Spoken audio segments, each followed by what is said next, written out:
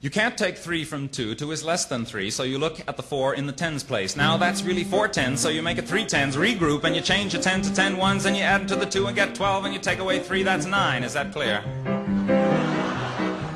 Instead of 4 in the tens place, you've got 3 because you added 1, that is to say 10 to the 2, but you can't take 7 from 3, so you look in the hundreds place. From the 3 you then use 1 to make ten ones, and you know why 4 plus minus 1 plus 10 is 14 minus 1, because addition is commutative, right? And so you got thirteen tens, and you take away 7, and that leaves 5.